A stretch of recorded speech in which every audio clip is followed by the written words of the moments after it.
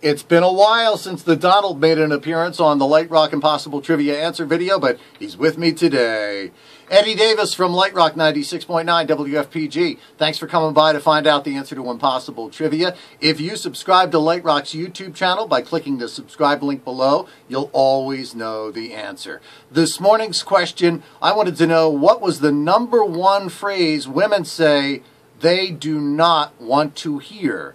And an exciting episode of Donald Trump Theater. To find out that answer here this morning, we take you down to the stage where Donald and his couple of uh, beautiful dolls are standing by with a theatrical production. Did you realize that if you raise the arms of a Barbie doll, at least this one, that her head turns? Never knew that. Anyway, here you are, Donald Trump Theater. Misty, Trixie, the Donald. Mr. Trump, Mr. Trump, it's me, Misty. How do I look today, sir? Misty, you look fine. You're hired. Oh, thank you. Mwah.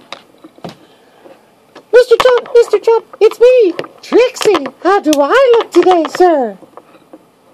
Trixie, I've got to be honest with you. You look tired.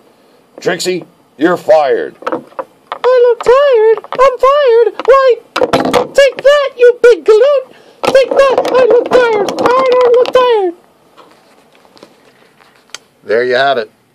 Women don't want to hear, you look tired. Take it from the Donald.